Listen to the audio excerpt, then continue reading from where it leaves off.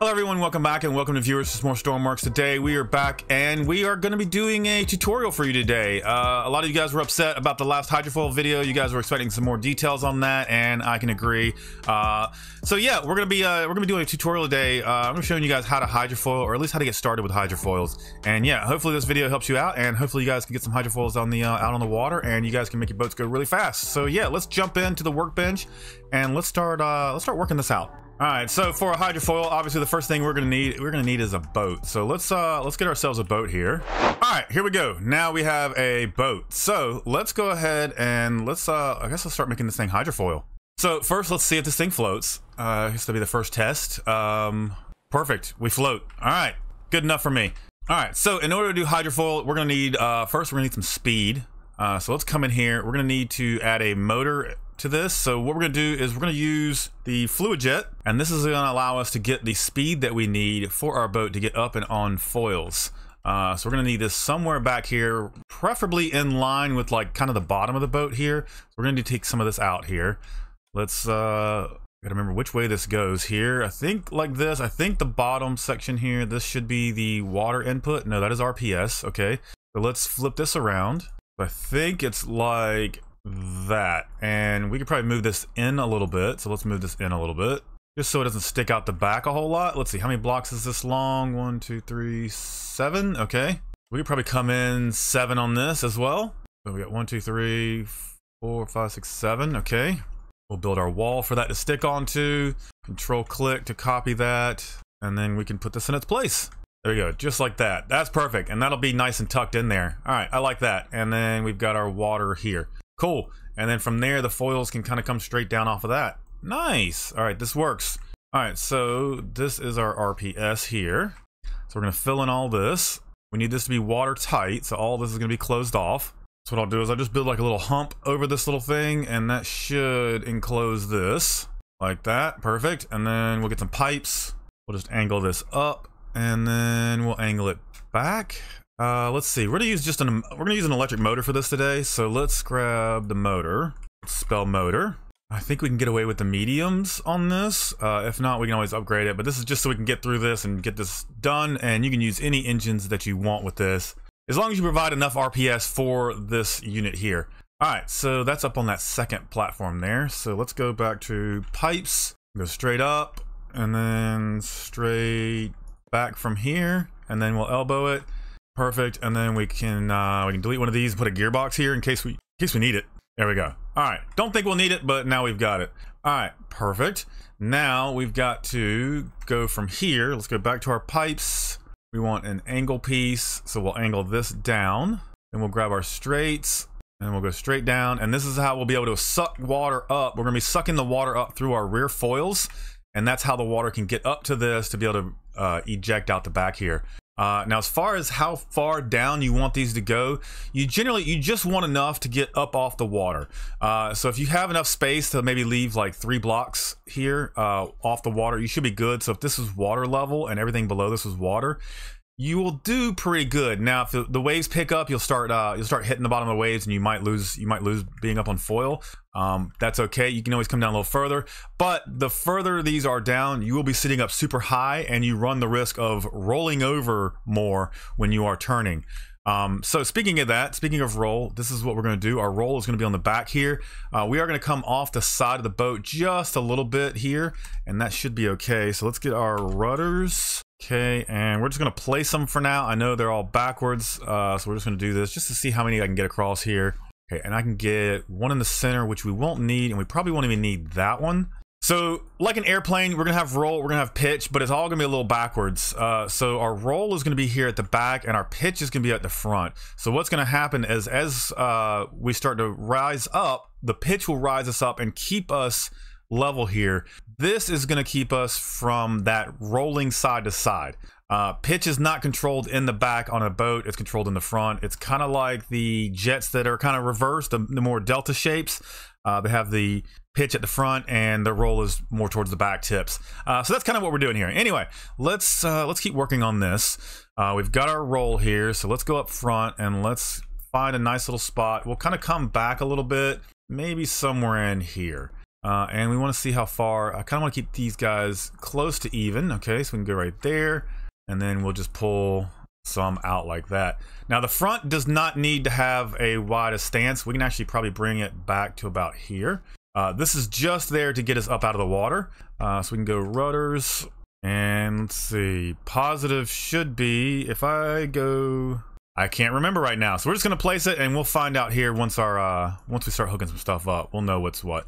All right, so for this, uh, there's two ways we can go about doing this. We can use a fluid meter or we can use an altimeter. Now the fluid meter as you're riding along the way, if if it's flat water, you're not to have any problem. It's just to read that in and out of the water, and it's to be giving a one and a uh, one and a negative one, allowing these fins to go up and down. But if we have waves, it's going to allow it to go up and over the waves before it breaches. Now, if we use an altimeter, it's going to stay straight. So even if there are waves, this thing is going to stay super super level. Um, so I think that's what I'm gonna do here today. But you can have the option of doing both, um, and it, they work. They work. They work different. It just depends on what you're looking for in your hydrofoil. Um, now, hydrofoils in the past I've done, altimeter works great. Others, altimeter doesn't work great. I have to use a fluid meter. So this is gonna be one of those things that you're gonna have to try out and test yourself. So yeah, that's just one of those things. Now, this is our water. This is gonna be below the water here. So we wanna make sure that our water line is somewhere up in here. So what we'll do is we'll just delete this block here. I'm gonna get my altimeter. We're just gonna place this right here. So what's happening here is this is our water line. Imagine this red line is our water line. And right now the altimeter is above the water. So it's getting a plus one. So the plus one will provide an angle for these, allowing this to drop down and then actually I think these are right. So these will tilt up and will actually drive the boat down. And then once it's below the water line, it gets a negative signal, which then changes these, which then comes back up. So you end up with this almost, if you're not careful, it will porpoise. Uh, you'll start doing some dolphin tricks, uh, but you can kind of fine tune this a little bit. Uh, so as far as the back goes, we're gonna need a gyro.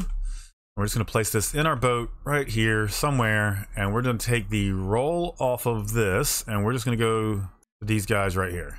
Perfect. Uh, now we need a helm or a seat. Uh, let's go for a helm. I like the helms. Uh, we just want to have this. Uh, sure, right there is fine. And first test, I'm gonna take the. I'm gonna take the roll. I'm gonna hook it up real quick. I want to see which way's which. All right, so we got on the water here. Let's see. All right, so I'm giving right roll. So our left side is wrong. Easy way to test that. All right, so we're just gonna come in here. Let's take this.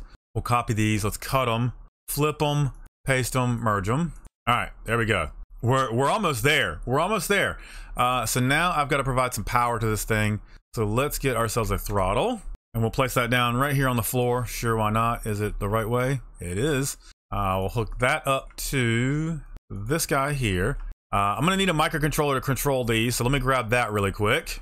All right, I've got my controller to control my fins here. Let's see, I wanna make sure that B is on the left, okay. We got deflector B, got deflector A. I don't need vertical trim, and I don't need any of these because, yeah, we're not doing all that. All right, so throttle lever goes to here, and then throttle comes out. Nope, side tilt, fluid jet RPS, front tilt. Okay, so I will need a uh, RPS meter on here. Easy enough. We'll just put a torque meter in here, and then we can read the RPS off of that.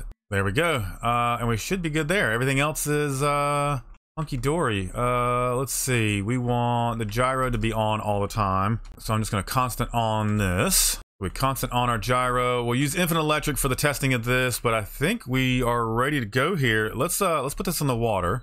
Okay. So far so good. Let's jump. And we made it. Whoa, whoa, what was that bounce? Hey. Okay, that's new. All right.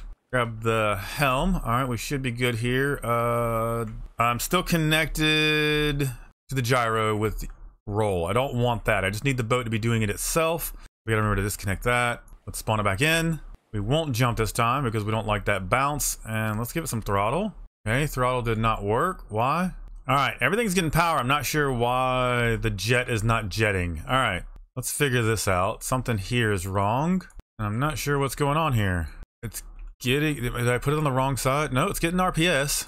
I did forget to hook up the steering to it. That shouldn't be a thing though. Oh, okay. You know what? It helps. It helps to put a port on the bottom of this. Uh, that might be where we're struggling here. All right, let's try that. Let's actually get some water into the system. maybe that'll help. All right, let's give some throttle. All right, yes, we are moving. Cool. All right, so now, now that we're moving, it seems like we actually have roll stabilization, but I did not hook up the front section here. Let's do that. Let's hook that up. Now we're gonna hook our altitude up to these fins. Let's spawn it in one more time. Let's give it a little bit of throttle. And you can see, whoop, we're already up on foils. All right, so now here's where the testing, oh, we are super slidey. Uh, this is where your testing would come in uh, as you're as you're uh, you're adding weight to your boat. You want to make sure that you're uh, you're not rolling over. But yeah, we are already hydrofoiling, as you can see. Boom, just like that, and we're hauling butt too. Uh, I don't know how much we got on speed sensor. We can uh, we can crank this up though. Let's go ahead and force it to go as fast as it can. We got the little bit of wobbles, but that's understandable. You can tune the gyro just a little bit to uh, reduce. What is all that? Okay, we've lost a helicopter out there. Uh, but we're going pretty fast, and as you can see, it's just pretty simple. So what I'll do is I'll leave uh, I'll leave links down for the fluid jet controller, uh, so you guys can use that. Everything else, uh, you've pretty much got what you need in the toolbox here. Uh, it's just an altitude sensor, a gyro, and then your fluid jets. Uh, you can pretty much add this to any boat that you want and actually get this to work. Now, as you can see, we are a little wobbly here, and I'm trying to, let's see if I can get it to roll over. I don't think it's going to happen, but if it were to roll over, so yep, yep, there we go, right there. Uh, one of the things that we could do is spread out the roll on the back, uh, move them out a little further, and that would help prevent some of that uh, rollover. So as you start building taller bridges and things like that, mast, whatever, on your boat, it's going to get a lot more top heavy. So the roll is going to be fighting a lot more. So if you start, if it just keeps rolling over, just keep adding more, uh, more fins on the back, more stronger stuff. Uh, so yeah, there you go, guys. There is a hydrofoil tutorial for you. I hope you learned something from this today. I hope you uh, hope you get out there and build some uh, really cool boats with this. But yeah, thanks so much for watching. I will. Okay, yep, there's the roll. Uh, we can we can slow that down a little bit. We don't need all that power. But yeah, guys, thanks so much for watching. I appreciate you, and we will see you guys in the next one.